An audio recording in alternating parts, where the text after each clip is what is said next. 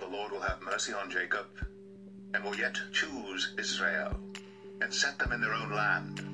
And the stranger shall be joined with them, and they shall cleave to the house of Jacob.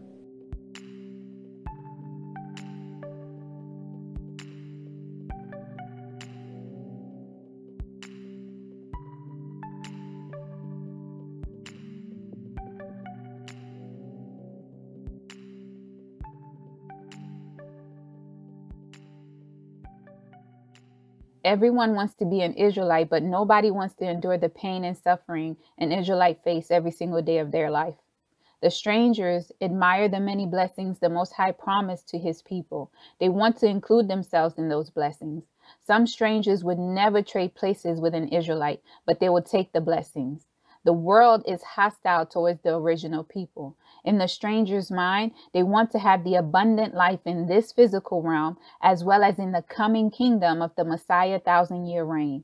I would like to say to the strangers and non Israelites who wants equal share in the blessings the Most High promised to his people, the Israelites choose this day whom you're going to serve the Most High, the Elohim of Israel, or the pagan gods you have been worshiping in organized religion.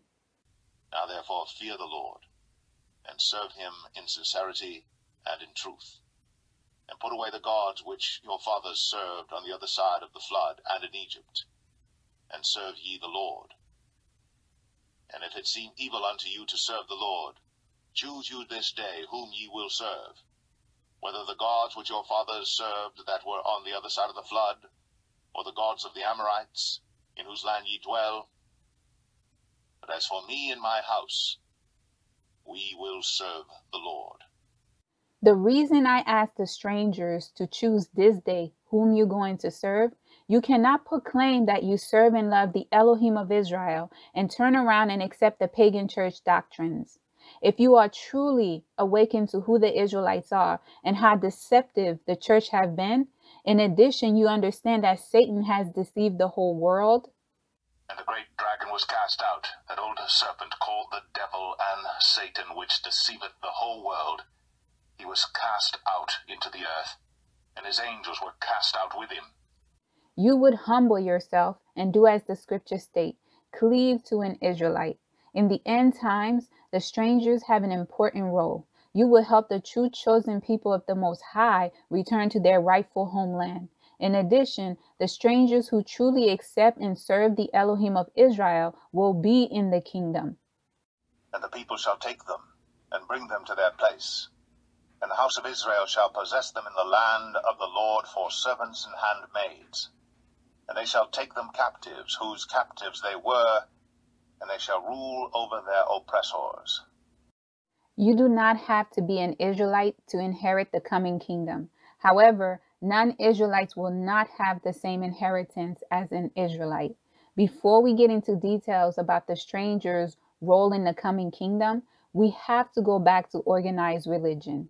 The pagan church has indoctrinated Israelites and non Israelites to doctrines of devils.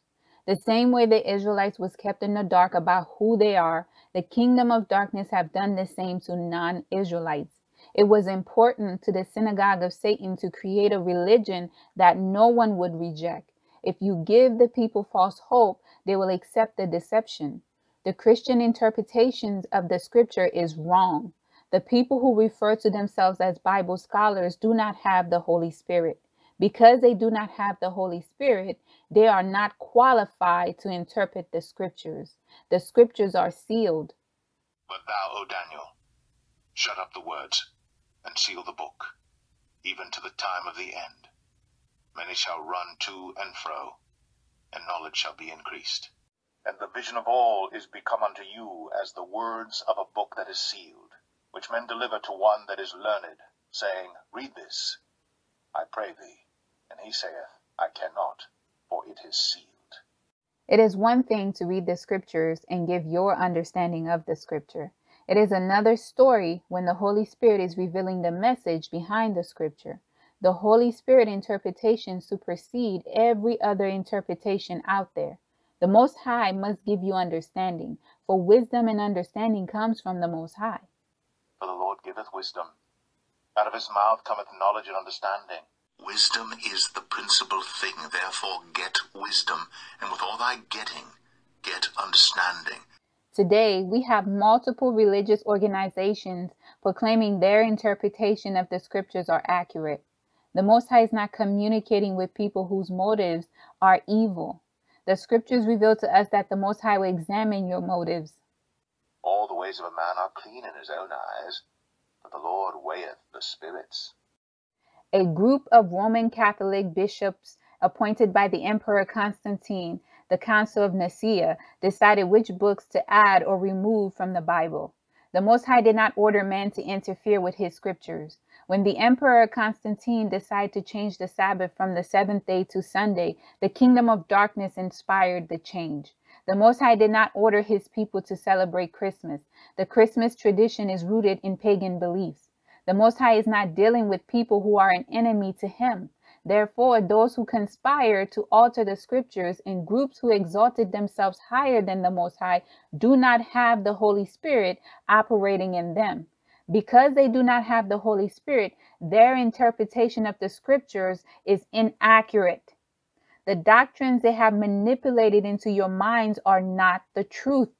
The scriptures reveal the Holy Spirit gives us truth and tell us the things to come. Howbeit, when he, the Spirit of truth, is come, he will guide you into all truth. For he shall not speak of himself, but whatsoever he shall hear, that shall he speak, and he will show you things to come. The synagogue of Satan do not have the truth in them, because the Holy Spirit is not operating in them. This is how they were able to help Satan deceive the whole world.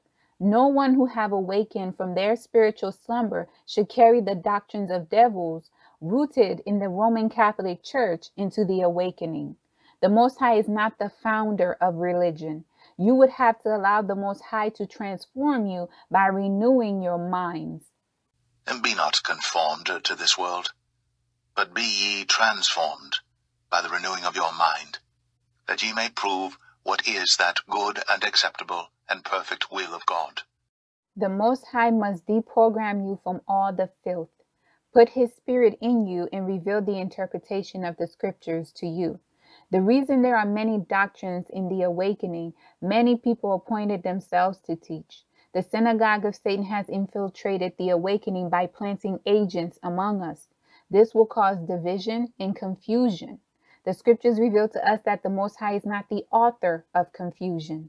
But God is not the author of confusion, but of peace, as in all churches of the saints. Confusion is coming from the kingdom of darkness. The Most High said a kingdom divided or a household could not stand. Many Israelites and strangers do not know how to fight back in the spirit. They attack each other instead of attacking the spirit of confusion and division. Israelites, can you discern how the kingdom of darkness operate? If you have not seen the message on John 3:16, I recommend that you watch that video. John 3:16 is the number one misinterpreted scripture.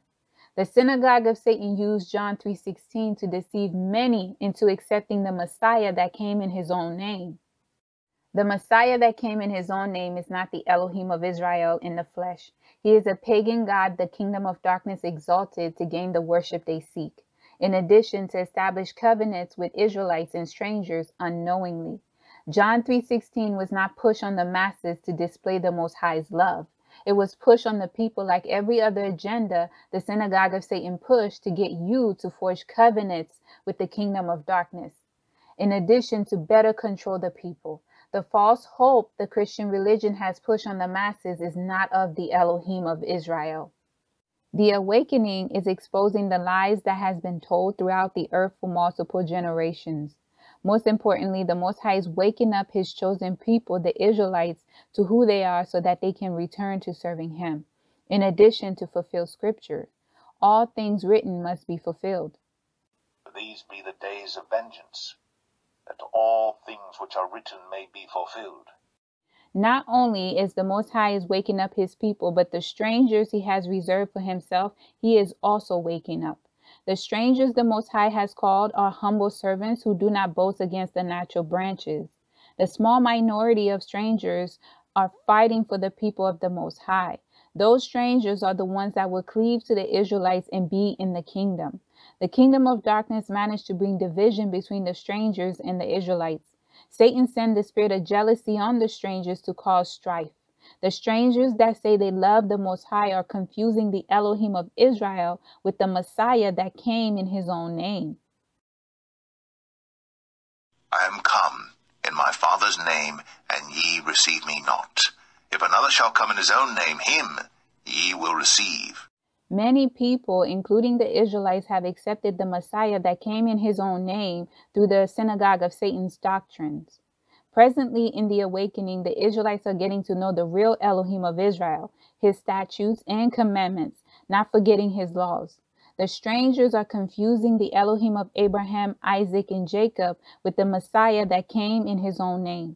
The promises the Messiah that came in his own name made to the world are not valid. The strangers are taking the false promises made by the Messiah to secure residency in the coming kingdom. Strangers, you do not need to hang on to the false ideology given to you by the pagan church to inherit the kingdom. The Most High would never reject anyone who serve him and obey his laws, statutes, and commandments. The Most High often say he would be a father to the fatherless, defend the widow, and he loved the strangers. He doth execute the judgment of the fatherless and widow, and loveth the stranger, in giving him food and raiment. Love ye therefore the stranger, for ye were strangers in the land of Egypt. Strangers, you do not need to bring the doctrines from the pagan church to defend your position or try to include yourself. The Most High would not reject a stranger that serve him wholeheartedly. It is important to allow the Most High to renew your mind. The God of Israel you learn about in the pagan church is not the same as Yah, the Elohim of Israel, that is waking up his people today. Many heathens and strangers gravitate to the God the kingdom of darkness created because of the benefits. The church told you that you have replaced the Israelites and you are spiritual Israel. You can never replace the Israelites. The Most High did not forsake his people. He will redeem his people. Blessed be the Lord God of Israel, for he hath visited and redeemed his people. Let Israel hope in the Lord.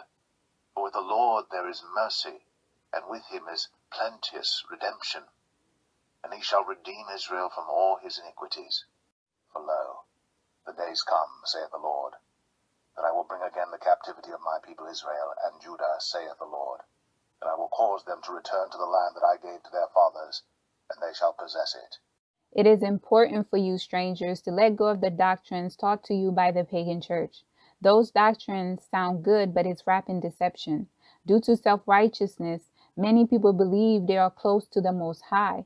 The truth is, they are far from Him. The false doctrines is causing many strangers to sin. Through their lack of knowledge, they are breaking the commandments of the Most High. The Most High said you should not covet. Many strangers covet the Israelite inheritance.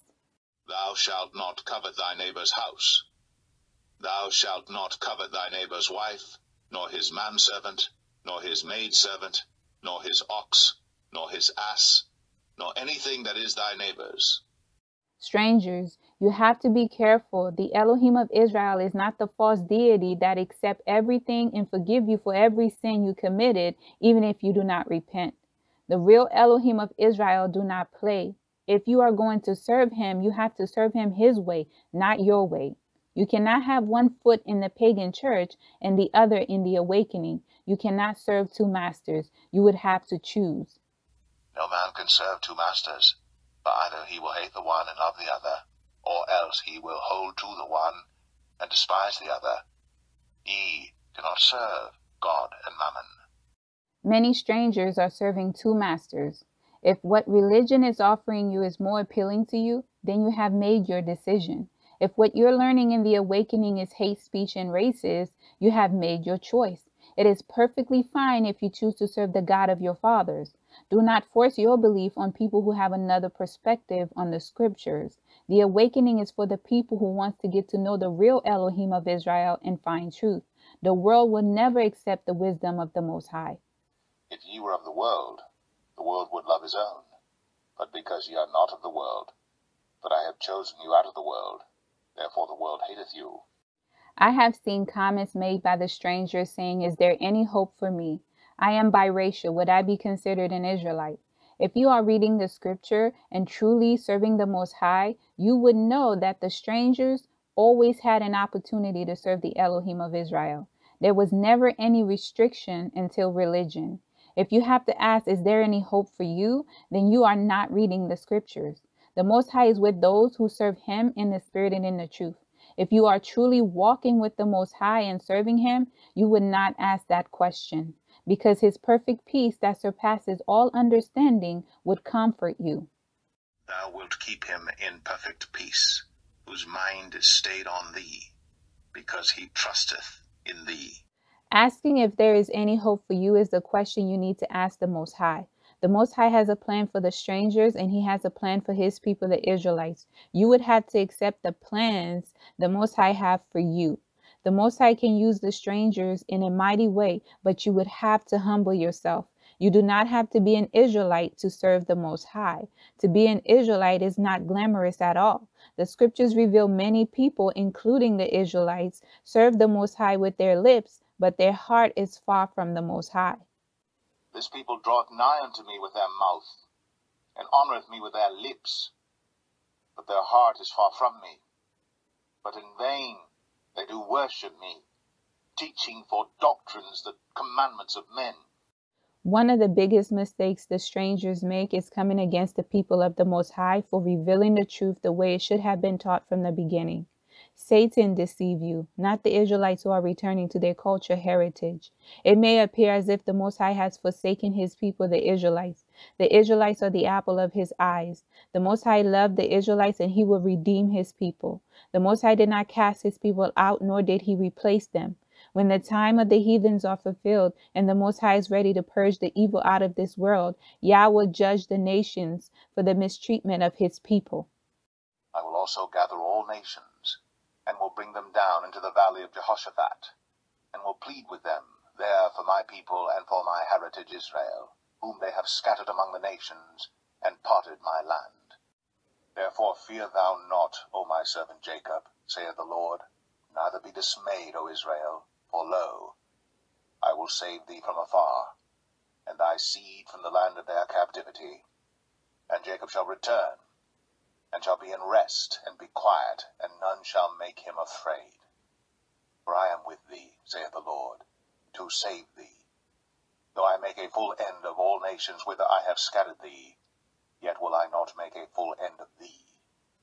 But I will correct thee in measure, and will not leave thee altogether unpunished.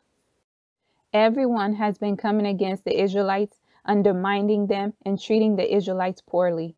Just because the Most High has yet to take vengeance for his people, it does not mean the Most High is pleased with you. The Most High did not give you permission to say or do what you want to his people. The awakening is not about your emotions. Only a stranger that do not understand his or her role wants to debate and throw stones at the Israelites. The Most High know your heart and every intent. This generation of Israelites and prior generations was born into captivity. None of us truly know what it means to be free. If you were honest with yourself, you would acknowledge how the serpent seed and many other heathens are oppressing the Israelites. The strangers that serve the Elohim of Israel understand his or her role. They are not seeking to steal the Israelites' inheritance for themselves. The strangers will assist in the end time to get the Israelites back to their homeland. The strangers that assist with the Israelites returning to their homeland, the Israelites will possess them as servants and handmaids. I believe the reason the strangers do not want to hear that they will be servants, they don't want to be treated the same way the Israelites are being mistreated all over the world. The scriptures reveal to us that the Most High is not mocked. A person will reap what they sow. Be not deceived, God is not mocked, for whatsoever man soweth, that shall he also reap. The Most High's kingdom is of righteousness, not evil like the present reign of the heathens with the kingdom of darkness as their leader. If you need clarification, seek the Most High for the answers. You do not need to come against the natural branches to be a part of the awakening. Do not let Satan mislead you. There is a lot of misunderstanding between the Israelites and the strangers. The misunderstanding comes from the false doctrines taught to the people worldwide. This is why it is important to purge those satanic doctrines out of your life. Do not bring those doctrines into the awakening. Coming against the people of the Most High is like coming against the Most High Himself. I do not believe many strangers understand what they are doing. It is a fearful thing to fall into the hands of the living God. You do not want to experience the wrath of the Most High. You have been taught the Most High is love and passive. The Most High is also wrath. He means what he say. Strangers, if you are truly seeking the Most High, then you would humble yourself, cleave to an Israelite, and live in peace with the Israelites. There is no need to fight. Everyone will inherit the portion the Most High have for him or her. No one who served the Elohim of Israel would give room to the spirit of hate, strife, and envy. Your focus would be on how to please the Most High. Do not let Satan deceive you into believing you have the right to come against the natural branches. As the new heavens and the new earth which I will make shall remain before me, saith the Lord, so shall your seed and your name remain. It shall come to pass that from one new moon to another, and from one Sabbath to another, shall all flesh come to worship before me, saith the Lord.